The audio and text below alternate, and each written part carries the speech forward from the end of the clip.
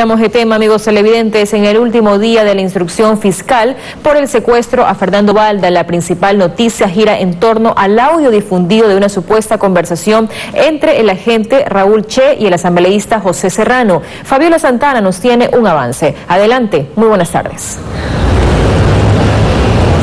¿Qué tal? Buenas tardes, 12 horas con 29 minutos y efectivamente hoy culmina la instrucción fiscal sobre el secuestro del político Fernando Valda en Colombia en 2012. Sin embargo, él no descarta impulsar nuevos procesos judiciales en contra, por ejemplo, del expresidente de la Asamblea Nacional José Serrano, esto luego de la filtración de un audio en el que se lo escucharía conversar con el agente de inteligencia y autor confeso de este secuestro, Raúl Chicaiza. Además, preste mucha atención, pues Fernando Valda anunció que va a demandar al gobierno colombiano por cuanto se lo expulsó en 2012 al Ecuador. Nosotros todo esto, amigos televidentes, les estaremos ampliando más adelante. Por ahora vamos a una pausa comercial.